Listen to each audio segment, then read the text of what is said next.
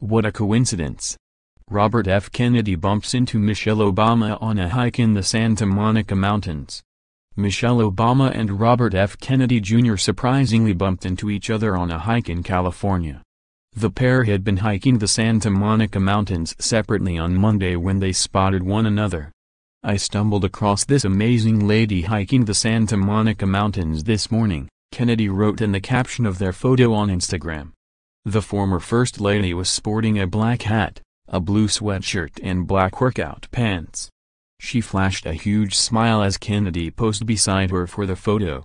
Kennedy, 64, an environmental lawyer who is the third eldest of Robert and Ethel Kennedy's 11 children, was sporting a black t-shirt and blue jeans. Both Obama and Kennedy have been busy in the past few days. Kennedy recently called for a new probe into his father's assassination and Obama has been speaking out against the separation of immigrant families at the U.S.-Mexico border as she prepares for her book launch in the fall.